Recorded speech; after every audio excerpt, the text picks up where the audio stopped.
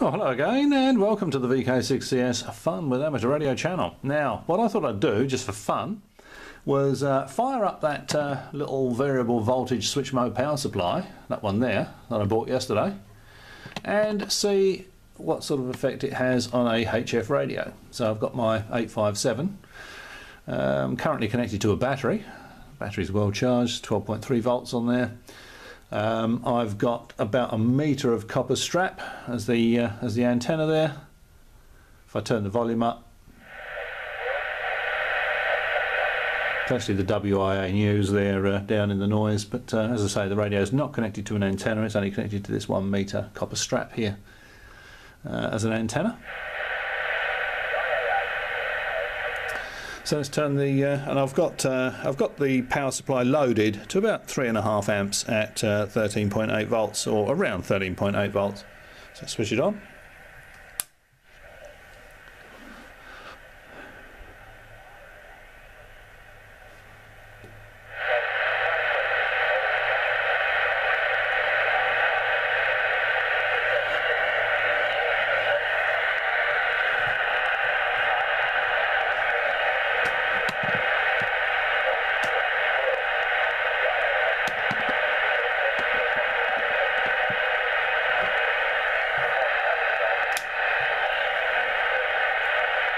Switch it off.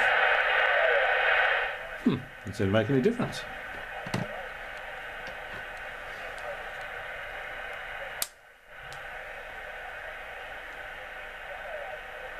I don't know if you can see that.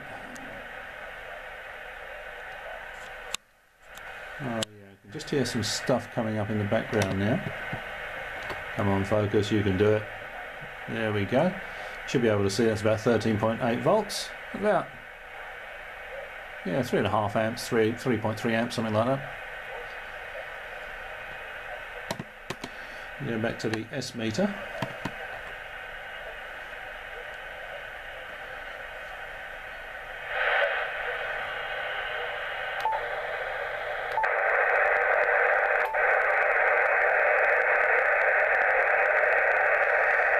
Got a six of noise there on 20 metres.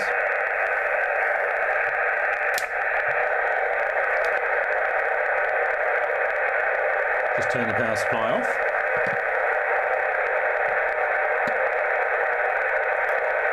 Sorry about this autofocus, but uh, there's not much I can do about that.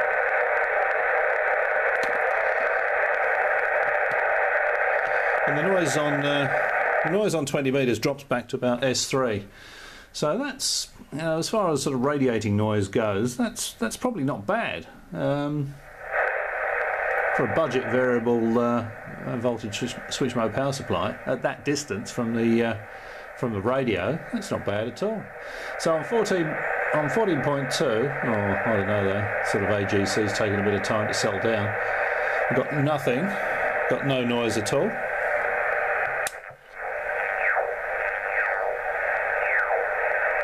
Let's turn the power supply on. That's sorting itself out.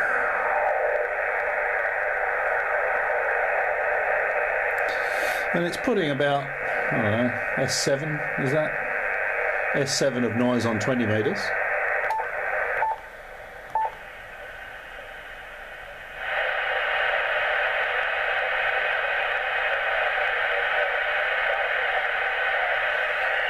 There's no noise indicated on 40 metres. We'll turn the power supply off.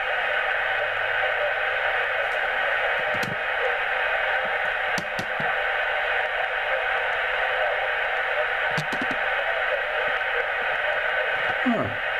Well, that's surprisingly uh, surprisingly good.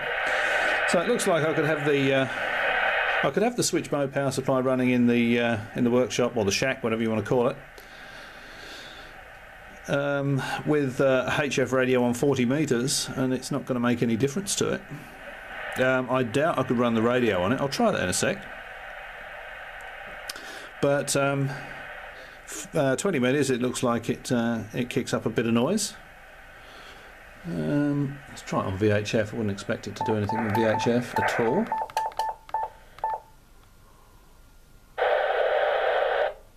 Turn the power supply on. And uh, yeah noise on.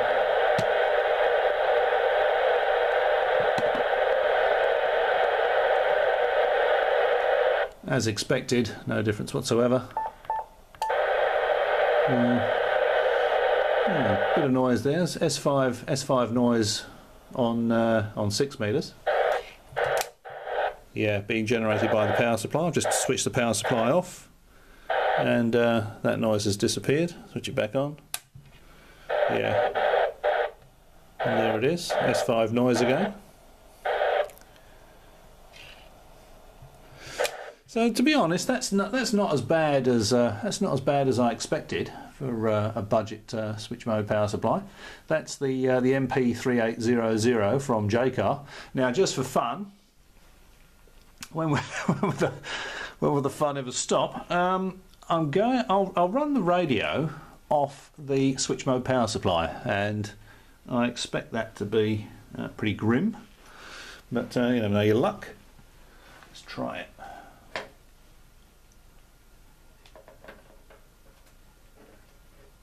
My knees here, so I just knelt on something sticking in the carpet.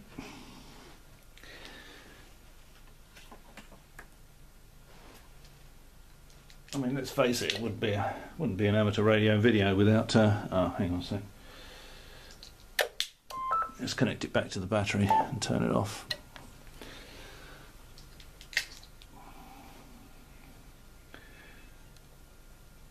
Wouldn't be an amateur radio video if it wasn't amateurish, would it? Let's be honest. Okay. Right, so now I've connected the power supply.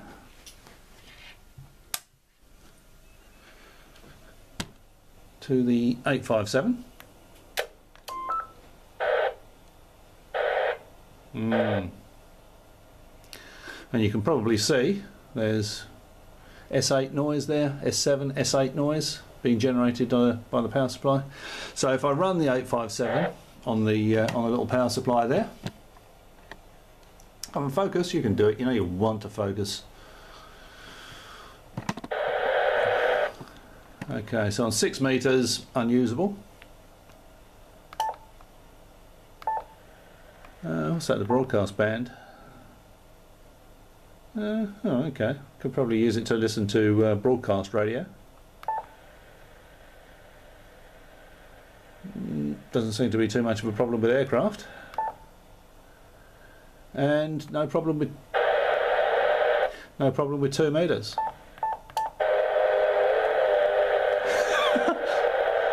Sounding in pain on uh, on six meters. Look at that, 9 plus plus on, uh, on 10 metres. 24 megs unusable, 21 unusable, 9 plus. Unusable on 18. Unusable on 20 metres, although the noise is actually coming down slightly. 10 megs, about S6. 40 metres S6. Although surprisingly, you can still hear the WIA news in the background on that one metre of uh, on that one metre of copper uh, copper uh, copper braid that I've got uh, stuffed into the antenna socket on the 857. That's interesting. So there we go. So the Jaycar MP3800. Um, forget about it for running your HF radio be all right for running your 2 meter radio, hmm, okay for running your broadcast radio. And it's okay to uh, um, run it in the shack on, I think on 40 meters it didn't make a great deal of difference, did it? Um, but on the others it, uh, it, it, generated uh, it generated some noise. So just let's go through that again. So I'll just reconnect the 857 to the uh, to the battery and reconnect my dummy load to my power supply.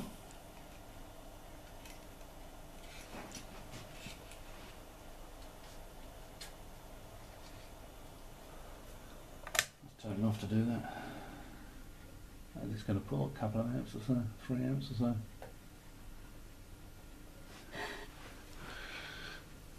Okay. The power supply is off at the moment.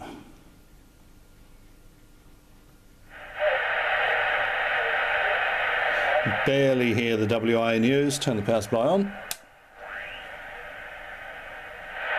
A little birdie as the uh, as the oscillator in the power supply sweeps past, or, uh, or one of the sprogs from it sweeps past that uh, particular frequency, but doesn't seem to bother. Uh, doesn't seem to bother 40 meters.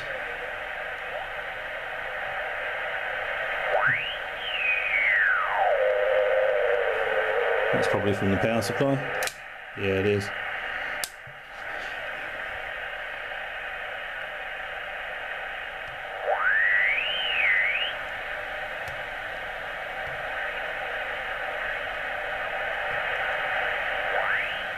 Yeah, so you can probably probably get away with it running it in the shack while you were uh, having a turn around on 40 metres.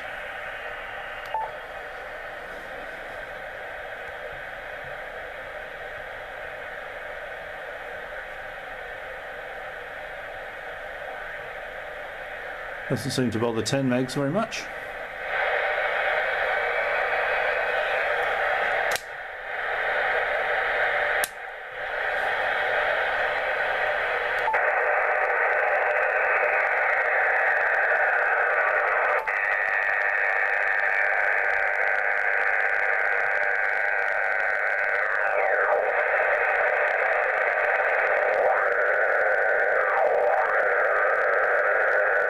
That's interesting.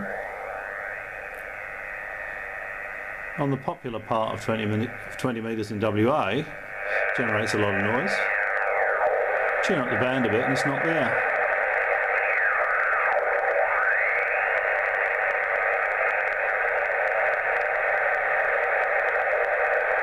It's not there.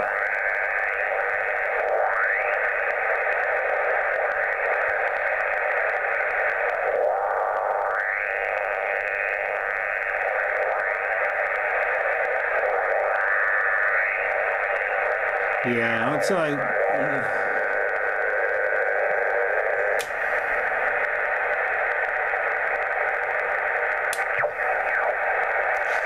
for practical purposes, uh, you, you, might be lucky, but uh, 20 metres looks like it's uh, it's not usable with this power supply running in the uh, in the shack. 18.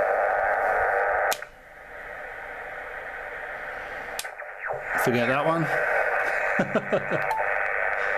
21, 9 plus, 24, 28,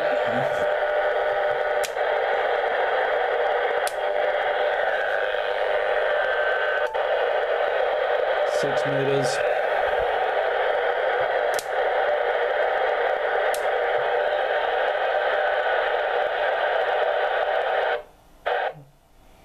S4 S4 peaking up to S5 on uh, on six meters. Uh, well, I thought when it was connected to the radio, you could get away with that. Uh,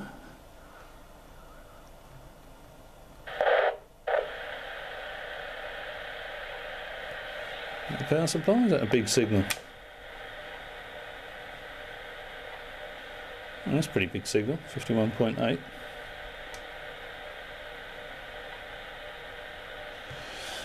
Trying to think what the uh, repeater frequency is.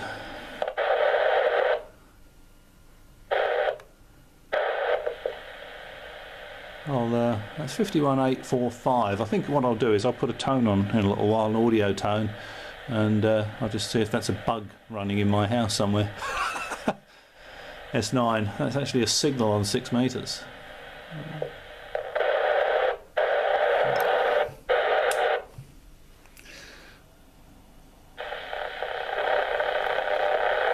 I turn the power supply on, it does create a bit of noise on there. So yeah, that's the power supply creating that noise. So yeah, six meters not really. Broadcast band. Uh, there's no noise indicated. I won't tune into a radio station. uh, in case I'm, in case YouTube uh, pick up the music and uh, mute the soundtrack as I did before when I did one of these. Aircraft.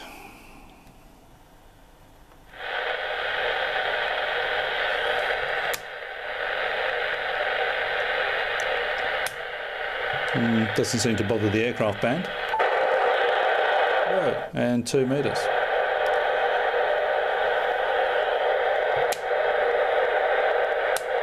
There we go. So that's the. Uh, so that's just going through again, looking at the uh, the the, the, noise it radiates. So that's the difference between the noise it radiates and uh, the noise it actually produces if you connect the radio to the power supply on the different bands. Bottom line is, um, don't buy one of those to run your HF radio, I would say.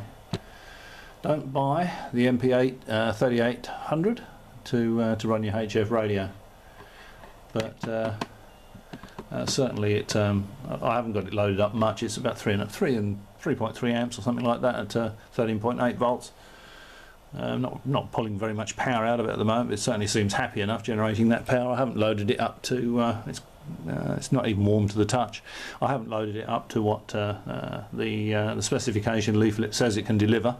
I don't have a load big enough to do that, so um, I just have to take their word for it. Ah, okay, all right. Well, uh, hope you found that interesting or useful. And uh, as always, thanks for watching. I'll catch you next time.